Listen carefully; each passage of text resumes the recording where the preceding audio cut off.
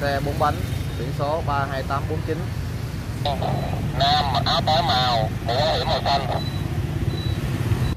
Khuya 15 tháng 5 năm 2019, đội cảnh sát giao thông trật tự thuộc Công an quận 3, Công an thành phố Hồ Chí Minh đã kiểm tra nồng độ cồn đối với người tham gia giao thông. Để nâng cao hiệu quả trong công tác xử lý, hai cảnh sát giao thông mặc thường phục đứng gần các quán nhậu, phát hiện ai vừa nhậu xong mà vẫn tự chạy xe về sẽ báo qua bộ đàm để lực lượng cảnh sát giao thông tuần tra công khai, đứng cách đó khoảng từ 100 đến 300 mét, yêu cầu dừng xe kiểm tra nồng độ cồn. Đây là chuyên đề được đội cảnh sát giao thông trật tự công an quận 3 kết hợp với tổ tuần tra 363 công an thành phố Hồ Chí Minh thực hiện thường xuyên vào tất cả các ngày trong tuần. Địa điểm thực hiện là ở những tuyến đường có nhiều quán nhậu như Lê Quý Đôn, Võ Văn Tần, Hoàng Sa, Trường Sa thuộc địa bàn quận 3. Trong công tác xử lý ờ, nồng độ cồn thì ờ, công ờ, lực lượng cảnh sát giao thông công an quận kết hợp với tổ công tác 363 tổ chức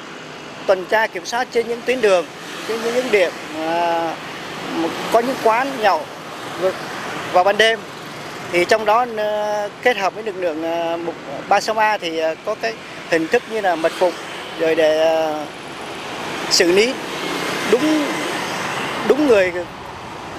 có hành vi vi phạm về nồng độ cồn thì việc chúng tôi á, lập biên bản tạm giữ xe của những người vi phạm nồng độ cồn á, là để đảm bảo an toàn tính mạng cho người um,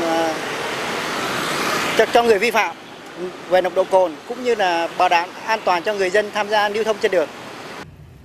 Sau khoảng 1 giờ lập chốt tại giao lộ Trần Quốc Thảo, Điện Biên Phủ, cảnh sát giao thông đã lập biên bản và tạm giữ xe của nhiều người đi nhậu về. Sau đó, tổ công tác tiếp tục di chuyển địa điểm đến phố nhậu bờ kè Hoàng Sa, Trường Sa.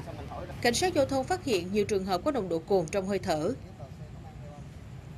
Chú uống mấy chai rồi chú? ba bốn chai Ba bốn chai. uống ở nhà uống xóm mà Nhưng mà chú có biết uống rượu bia mà lái xe là vi phạm luật giao thông không? ừ, nói thật là cũng biết đấy nhưng mà gần nhà đi vòng vòng đi nó có ngay đây gần đây mà